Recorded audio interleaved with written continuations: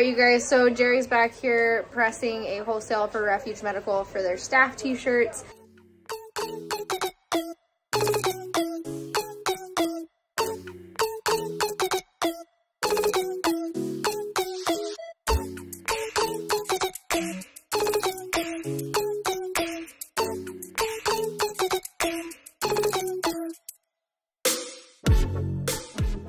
Um, we just got the green light that we can clean out this building, uh, pack everything up. It's gonna be going to Idaho, I think. It's gonna be going across country. Anyways, and our exposure, is it exposed? No, it's a, what is it? That thing.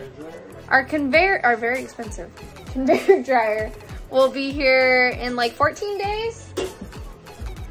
Somewhere around that. Yeah, somewhere around 14 days. So we gotta get this place cleaned out, emptied, and get everything set up for like screen printing. So um, it's exciting. It's like, super exciting. I can't wait to take you guys along with us as we clean this space out and kind of just update you guys on what's going on.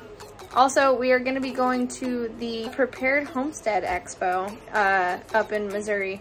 So that'll be exciting as well. And yeah.